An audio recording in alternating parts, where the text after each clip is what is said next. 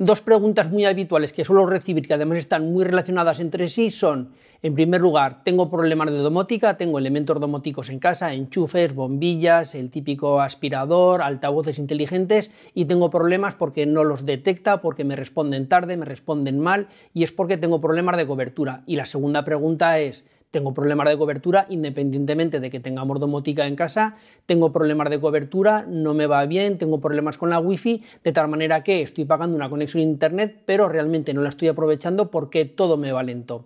Evidentemente, en ambos casos me decís que os enseñe o que os muestre alguna manera de hacerlo, pero que no tenéis dinero o que no lo queréis gastar o porque es para una segunda vivienda y cómo se puede hacer el montar una red MES y solucionar todos estos problemas de una manera económica. Y es lo que vamos a ver hoy, cómo solucionar todo todos estos problemas de una manera rápida, sencilla, sin complicaciones y por unos 60-65 euros. Es decir, de una manera muy, muy barata. Como he mencionado antes, la solución es colocar una red MES porque no es lo mismo tener un único punto de acceso, es decir, un único router a tener varios puntos de acceso. Vamos a mejorar muchísimo la cobertura. Y después, ¿qué problemas tenemos en el IoT? Tenemos dos problemas. En primer lugar, al igual que antes, la cobertura, es decir, si en una habitación tenemos un altavoz inteligente y no le llega la cobertura, evidentemente no va a poder funcionar. Y luego tenemos otro problema, y es que el espectro se satura. Es decir, como ya he explicado muchas veces, aquí os dejo unos vídeos específicos sobre redes Wi Wi-Fi, ¿qué ocurre? Que la frecuencia de 2,4 GHz tiene un espectro muy pequeño y tanto con los vecinos como con nuestros propios elementos domóticos o todos los elementos que tenemos dentro de la red o si tenemos varias antenas o varias frecuencias dentro de nuestra red, ¿qué ocurre? Que eso se satura y hace que tengamos problemas.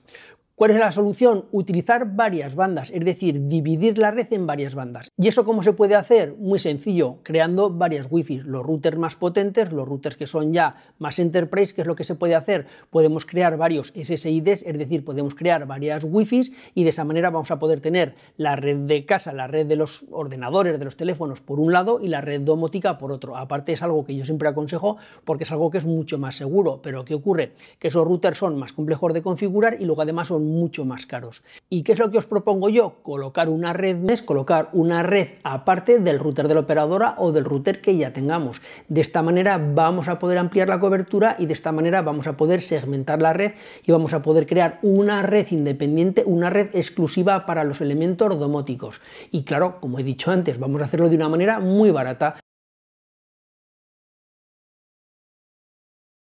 ¿Y de qué red MES os estoy hablando? Mirad, es esta de aquí es una Mercusys, es la Halo H50G y la tenemos en dos nodos y en tres nodos. Este es el de dos nodos, el de dos nodos vale alrededor de 60-65 euros y el de tres nodos alrededor de 80, 85 90 euros. Por ahí se mueven los precios. Es un dual band, es decir, lo tenemos en 2,4 y en 5 GHz. No tenemos dos bandas de 5 GHz, pero nos va a dar igual. ¿Por qué? Porque para domótica los 5 GHz no se utilizan y luego para un uso como el que voy a explicar ahora, realmente el hecho de que no sea un dual band nos va a dar igual. Os voy a enseñar la caja y ahora os explico las prestaciones que tiene. Aquí está. Vemos que es un Mercusys. Mercusys es la segunda marca de TP-Link, es por decirlo de alguna manera, es un TP-Link, de hecho lo fabrica TP-Link y es un AC1900. Y aquí nos dice que es hasta 350 metros, eso realmente da igual porque siempre os he dicho que esto es muy orientativo porque depende de las paredes, de la distribución, por lo cual realmente que diga que llega hasta 350, siempre digo que da igual. Vamos a las prestaciones como tal. Para el precio que tienen está muy bien, yo ya llevo un tiempo probándolos, luego vamos a ver ter de velocidad, vamos a ver un montón de cosas que, de configuraciones y de cosas que tienen y los podemos configurar de dos maneras. En primer lugar, los podemos configurar como router o como punto de acceso Wi-Fi, como la parte Wi-Fi, solo como una red mesh Wi-Fi. En el caso de que lo queramos como router, que es como lo aconsejo yo para el tema de domótica, ¿qué ocurre? Que va a crear un rango diferente del rango del router de la operadora. Lo voy a explicar de otra manera. El router de la operadora seguramente lo tenéis en el 192.168.1.1 o 0.1 y a partir de ahí tenéis todos los dispositivos de la red 192, 168, 1, 12, 13, 14, 15, como lo tengáis. Cuando lo configuramos como router, ¿qué es lo que hace? Crea un rango diferente, es decir, por defecto crea la 192, 168, 68 y lo que sea. Por supuesto eso lo podemos cambiar. Es decir, que va a generar una red diferente y si ahí enganchamos la domótica va a tener un rango diferente y no se va a mezclar con el resto de los elementos de la casa, es decir, con los ordenadores, con los tablets, con los elementos que son más importantes. Vamos a crear una red que la podemos llamar, por ejemplo, IoT, la podemos llamar como queramos, y esa va a ser solo para la domótica.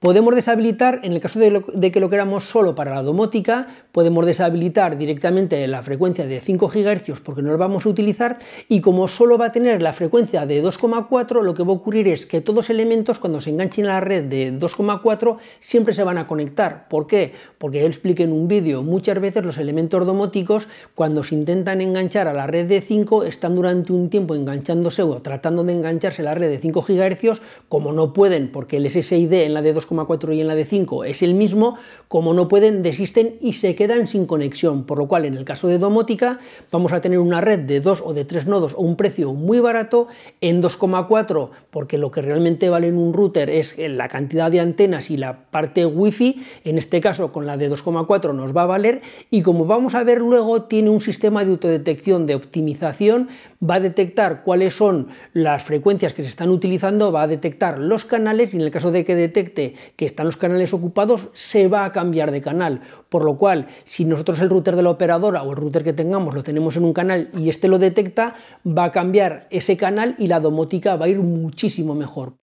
Esta opción de aquí es muy interesante, que es la de optimizar. ¿Qué es lo que hace? Lo que hace es analizar la red, ve el estado de la red y lo que hace es ajustarse para que sea más óptima, para que sea más rápida.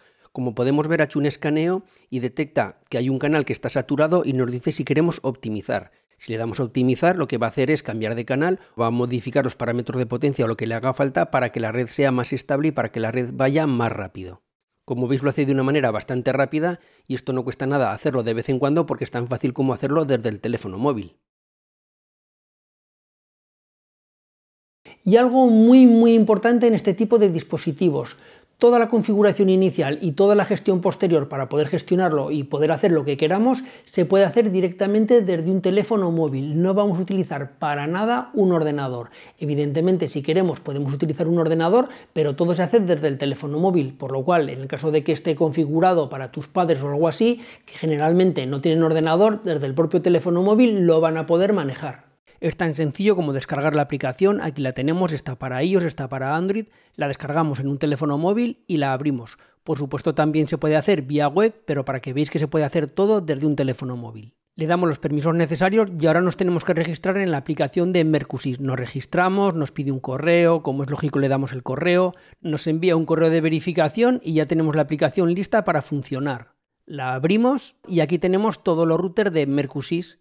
En este caso sería el Halo seguimos todos los pasos que nos van saliendo en pantalla, lo conectamos al router de la operadora, apagamos el router de la operadora, encendemos el halo, esperamos a que la luz parpadee en color azul, nos conectamos a la wifi que genera el router, en la parte de atrás en la pegatina aparece el nombre de la wifi y accedemos. Ahora vamos a personalizarlo, vamos a configurarlo. Nos pregunta dónde está, en mi caso está en el salón. Aquí tenemos lo que sería la parte más importante que es la configuración de la red en este caso está conectado un router de operadora, la IP dinámica, si queremos le ponemos una IP estática y en el caso de que tengamos el IPTV, es decir, en el caso de que tengamos la televisión propia de la operadora, lo configuraríamos. Ahora lo que vamos a hacer va a ser poner un nombre a nuestra red y una contraseña, por lo cual elegimos un nombre para nuestra red, elegimos una contraseña, la escribimos y nos conectamos a la Wi-Fi que acabamos de crear y ya está, ya está configurado, ya tenemos acceso. Ahora nos pregunta si queremos añadir otro dispositivo, otro satélite. Este es el modelo de 2, le decimos que sí. Y al igual que antes, seguimos todos los pasos y lo configuramos. Y si tuviéramos un tercer dispositivo, haríamos exactamente lo mismo. Y ya está, aquí tenemos los dos apps ya configurados, un dispositivo conectado, que en este caso es mi teléfono móvil, que es el que he utilizado para la configuración, y aquí tendríamos ya todos los menús. Ya está todo conectado, ya está configurado, ya le he conectado más dispositivos que se han conectado a la red que ha generado y ahora vamos a hacer un ter de velocidad, vamos a ver qué tal se comporta, vamos a ver qué rendimiento nos da. Como yo vivo en una casa de varias plantas, vamos a hacer varios entornos de pruebas, lo voy a probar en diferentes situaciones y vamos a ver qué tal se comporta. Venga, vamos allá. Y ahora vamos a realizar un ter de velocidad, vamos a ver qué tal se comporta. Ya sabéis que yo vivo en una casa unifamiliar de varias plantas, tengo colocado el router en la planta baja y vamos a ver en un ter de velocidad qué velocidad nos da. y vemos que nos da 500 megas de bajada y a ver cuánto nos da de subida. Vemos que nos da 500 megas de bajada, 612 de subida, una velocidad muy muy alta teniendo en cuenta que es un router de un precio muy muy económico. Por supuesto el test lo he hecho a través de la Wi-Fi. Ahora vamos a la primera planta y vamos a ver qué da la primera planta teniendo en cuenta que en este caso tiene que atravesar el suelo. Por supuesto los dos APs están comunicados inalámbricamente, no a través de cable.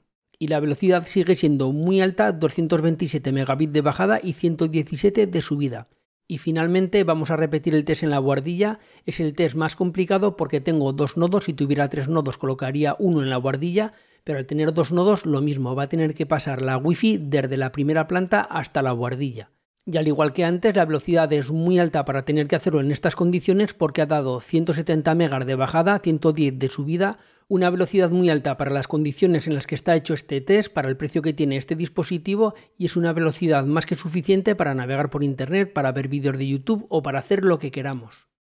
Y ahora vamos a ver cómo funciona una red mesh porque es muy distinto una red mesh de un repetidor. Tiene muchísimas ventajas. Ya sabéis que a mí no me gustan nada los repetidores. Prefiero siempre utilizar redes mesh y más por este precio. Ya hemos visto en el test de rendimiento que va muy muy bien y vamos a ver qué diferencias hay y cómo funciona una red mesh vamos a ver cómo funciona una red mesh. Por ejemplo, en la imagen de la izquierda vemos como tenemos una red mesh formada por tres nodos, por tres APs, y en este caso lo que tenemos es un dispositivo móvil, que en este caso es una casa de varias plantas, parecido a lo que tengo yo, y una persona con un dispositivo móvil se va moviendo a través de las diferentes plantas de tal manera que nunca se le corta la conexión. Si estuviera haciendo una llamada a través de WhatsApp o una videoconferencia o estuviera viendo un vídeo de YouTube, no se le cortaría porque siempre se va a conectar al nodo que esté más cercano y en ningún momento va a perder la conectividad. Y luego en la imagen de la derecha, ¿qué es lo que vemos? Lo mismo, tenemos tres nodos, simula tres plantas o lo que podría ser una zona muy grande, de tal manera que en este caso el propio sistema va a decidir cómo nos conectamos. Por ejemplo, el nodo 1 se conecta con el nodo 2 ahí no hay ningún problema, pero luego el nodo 3 se puede conectar de dos maneras, de tal manera que se conecte directamente al nodo 1 o que se conecte al nodo 2, es decir, la información iría en el primer caso del nodo 3 al nodo 1 y en el segundo caso iría del nodo 3 al nodo 2 y del nodo 2 al nodo 1. El nodo 2 haría como de intermediario. Pero nosotros realmente de esto no nos tenemos que preocupar porque es un sistema inteligente y va a decidir cuál es la configuración más eficiente. También tiene Quality of Service, también importantísimo en el caso de teletrabajo, en el caso de que a lo mejor te gusten mucho los videojuegos, cuando queramos darle prioridad a según qué aplicaciones o según qué equipos. El Quality of Service también es importantísimo esto es muy importante, sobre todo de cara a la gente que está teletrabajando o de la gente que es jugona, que le gusta jugar a videojuegos, porque establece prioridades y, por ejemplo, en el caso de que tengas una videoconferencia de que estés teletrabajando, lo que va a hacer es darle prioridad al ancho de banda de la videoconferencia para que no se corte. O lo mismo en el caso de los videojuegos o en el caso que tú quieras. Podríamos poner un ancho de banda, por ejemplo, le podemos poner un ancho de banda de 300 en subida y en bajada. ¿Y a qué equipo? Pues en este caso al ordenador, al GICOM porque a lo mejor es el ordenador que utilizas para hacer las videoconferencias, el ordenador de trabajo, y le reserva siempre 300 al Geekom.